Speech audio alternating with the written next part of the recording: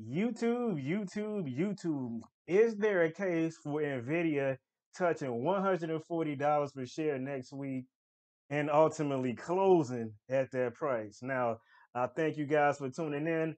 Please hit that thumbs up as we continue to grow the channel. I greatly would appreciate it. Now, this stock has been pretty much unstoppable all year.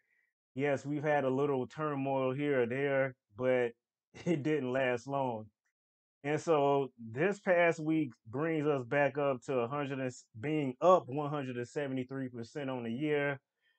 Over the last six months, we're up 50%, and over the last week, we're up 7.89%. And so the question is, can we sustain this actual move, turn 135 into a strong level of support to ultimately go to 140? Now, one thing that we do know is the market, I would say, kind of overall has gone where Nvidia is is going, and I would say without the strength that this stock has, the S and P 500, the Nasdaq would not be where they are now without Nvidia, and I'm not going to say the hype, but the products that that they have now, the products they're going to have going forward, are ultimately going to be very beneficial to a lot of businesses and consumers out there. And any company that's related somehow uh, has any correlation to AI or chips have also been rising on the back of Nvidia. I would even argue that some of the big market cap stocks, even the ones that are higher in market cap value than Nvidia, have benefited from this move as well. Okay. Now, some of you may not agree with that. One of them, as we know, is one of my favorite stocks of all time. But yeah, this thing just keeps on turning. It keeps printing money and is keeping the you know overall market lifted up.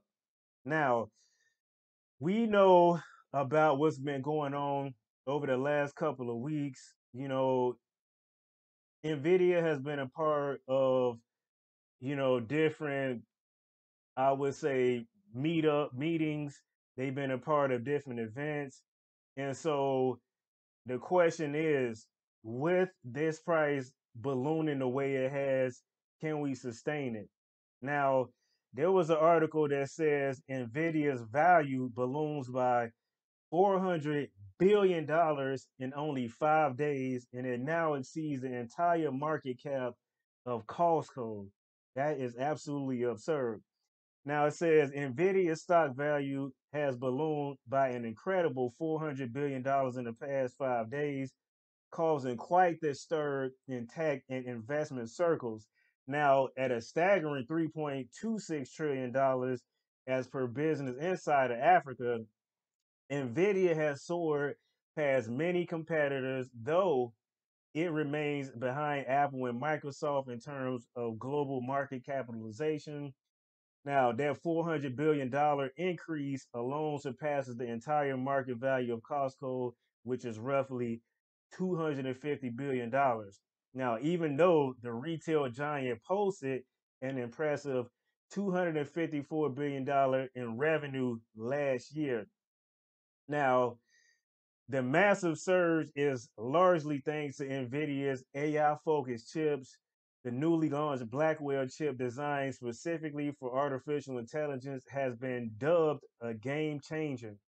Now, NVIDIA CEO Jensen Huang said, called it the engine to power this new industrial revolution. Major tech players like Microsoft, Oracle, and Google seem to be on the same page, pouring their support into NVIDIA's technology and betting on its future impact. So when you think about the backing of Microsoft, the backing of Oracle, the back of, backing of Google, uh, some could argue even the backing from Elon Musk and you know him really in, endorsing this company and you know when we think about even the EV sec- space, you know a lot of these chips are going to you know be a part of boosting what these these cars can do, especially when we talk about artificial intelligence and the capacity that these chips hold and the things that they offer. Now, it also goes on to say in 2024 alone, Nvidia stock jumped by 170%, which we just talked about. And since early 2023, its growth has been nothing short of explosive of 800% as per Reuters. Now, the financial numbers are jaw dropping. While Costco generated $7.4 billion in net income last year, NVIDIA boosted a whopping $30 billion in profit from 61 billion in revenue. Now, this speaks volumes about how profitable the tech space has become, especially compared to traditional powerhouses like Costco. Now, when we look at this particular uh, section here, from the technical standpoint, they have this thing as a buy. Uh, analysts have this rating rated as a strong buy.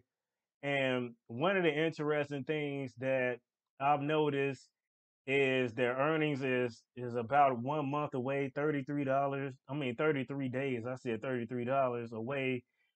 Um, and you know, the question comes, well, before then, I still think is a possibility, even next week, of us hitting the four hundred and forty dollars.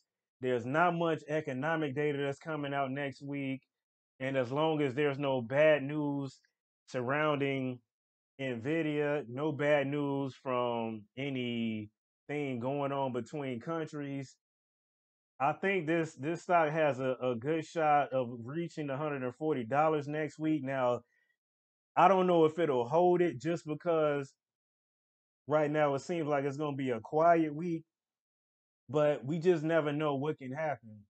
And so from that perspective, if the market decide, you know what, hey, we're to go ahead and take a quick profit because we don't know what's to happen next week and then maybe the following week or the week after, we're to resume this massive bull run that we're on.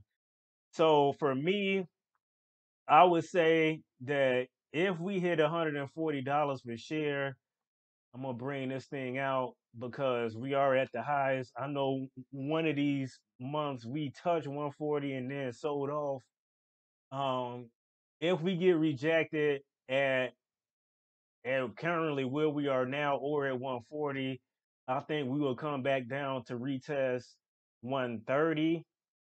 But if we close at or above 140 one day this week, I think the next leg up will be 145.